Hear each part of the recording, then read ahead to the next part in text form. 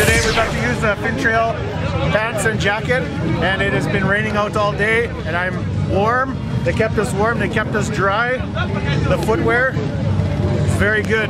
We really like it. Easy to move around. Kept us warm and dry all day. David Ostapew, Osta Cruiser, approved.